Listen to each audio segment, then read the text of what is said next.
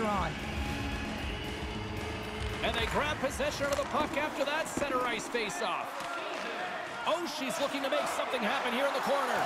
Oh, he made the save! Scores! And make it 20 on the year!